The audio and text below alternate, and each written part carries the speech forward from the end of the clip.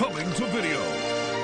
The Mighty Kong, the kid-friendly animated musical version of the classic story of King Kong. A truly epic film. It's got laughter, it's got tears, mystery, and fears. From deep in the jungles of a remote island, the Mighty Kong is captured and brought to New York.